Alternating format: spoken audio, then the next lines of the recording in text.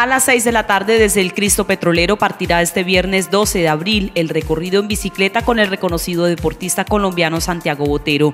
La iniciativa deportiva forma parte de un encuentro más de Yariguíes. El recorrido siempre son 24.4 kilómetros, iniciando desde el malecón del Cristo Petrolero, eh, pasando por el romboy de, Cavi, de perdón, del la puerta principal de Ecopetrol y posteriormente estaremos conectando sobre la avenida a, a la calle 52 para conectar con la que es la calle 49. Estaremos bajando por todo el sector comercial, a empalmar en el Parque a la Vida, cogiendo el Palmar, a las de Copas, para coger hacia el barrio Cincuentenario y luego posteriormente estaremos entrando a todo lo que es la comuna número 4. Vamos en bici con Santiago Botero, se denomina la travesía que durará cerca de dos horas. Que nos puedan traer un mensaje para la ciudad, un mensaje para nosotros, que él viene a contarnos sobre tres ejes fundamentales, ciudad, cómo acomodarnos con el tema de la, nuestra salud y cómo debemos montar y la responsabilidad que tenemos nosotros los ciclistas en las vías. Así que coordinadores de la actividad entregan recomendaciones a quienes deseen asistir a la jornada deportiva